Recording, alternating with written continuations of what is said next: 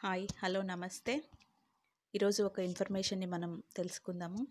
విశిష్ట సేవలకు YSR life time అవార్డులు.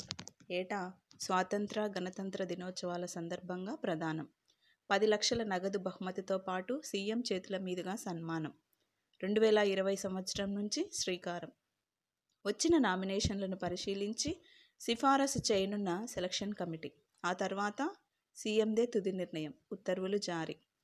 వివిధ రంగాల్లో విశిష్ట సేవలు అందించిన వారిని వైఎస్ఆర్ లైఫ్ టైం అవార్డులతో సత్కరించాలని రాష్ట్ర ప్రభుత్వం నిర్ణయించింది. వివిధ రంగాల్లో అత్యుత్తమ ప్రతిభ చూపిన ప్రజలకు విశిష్ట సేవలు అందించిన వారిని గుర్తించి ప్రోత్సహించడం లక్ష్యంగా ఈ అవార్డులను ఇవ్వాలని నిర్ణయించినట్లు రాష్ట్ర ప్రభుత్వం పేర్కొంది. ఈ మేరకు సాధారణ పరిపాలన శాఖ బుధవారం ఉత్తర్వులు జారీ చేసింది. ఈ పురస్కారం కింద పది లక్షల నగదు బహుమతితో పాటు ముఖ్యమంత్రి చేతుల మీదుగా జ్ఞాపికను ఇచ్చి సత్కరిస్తారు. కాగా ఏ ఏ రంగాల్లో వారిని ఈ అవార్డుకి ఎంపిక చేస్తారో కూడా ప్రభుత్వం ప్రకటించింది.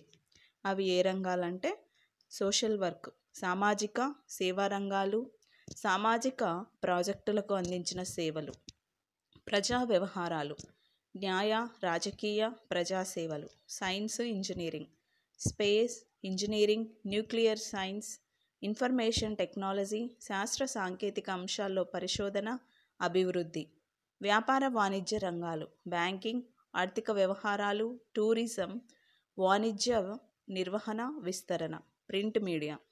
విశిష్ట సేవలు అందించిన ఎడిటర్స్ జర్నలిస్టులు ఎలక్ట్రానిక్ మీడియా.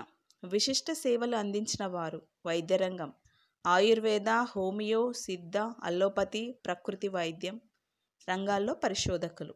కళలు సాహిత్యం విద్య.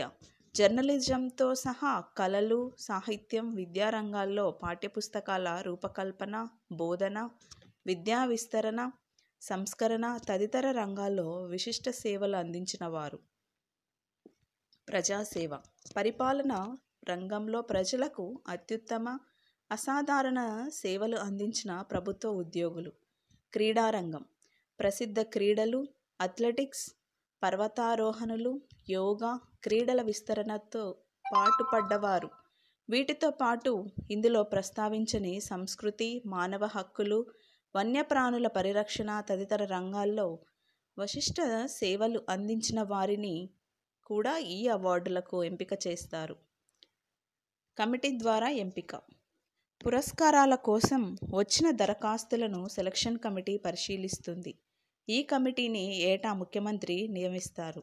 ముఖ్య కార్యదర్శి అధ్యక్షతన గల ఈ కమిటీలో ముఖ్యమంత్రి సిఫారసు చేసిన మూడు శాఖల కార్యదర్శులు సభ్యులుగాను సాధారణ పరిపాలన శాఖ మధ్య స్థాయి పరిపాలన శాఖ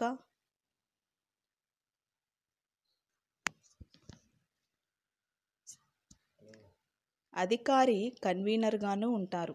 అవార్డుల బహుకరణకు రెండు నెలల ముందు ఈ కమిటీ సిఫారసులు స్వీకరిస్తుంది. వచ్చిన నామినేషన్లను ఈ కమిటీ పరిశీలించి ఎవరెవరికి అవార్డులు ఇవ్వాలో జాబితా తయారు చేసి ముఖ్యమంత్రికి సిఫార్సు చేస్తుంది. ముఖ్యమంత్రిదే తుది నిర్ణయం. ప్రతి ఏటా స్వాతంత్ర దినోత్సవం సందర్భంగా ఆగస్టు పదహైదున గణతంత్ర దినోత్సవం సందర్భంగా జనవరి ఇరవై ఆరున ఈ పురస్కారాలను ముఖ్యమంత్రి చేతుల మీదుగా బహుకరిస్తారు.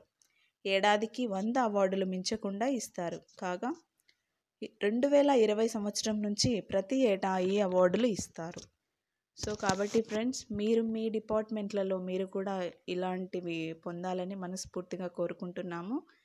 ఇలాంటి అప్డేట్స్ కోసం అంజీ ప్రసూ ఛానల్ని లైక్ చేయండి షేర్ చేయండి సబ్స్క్రైబ్ చేయండి. Thank you.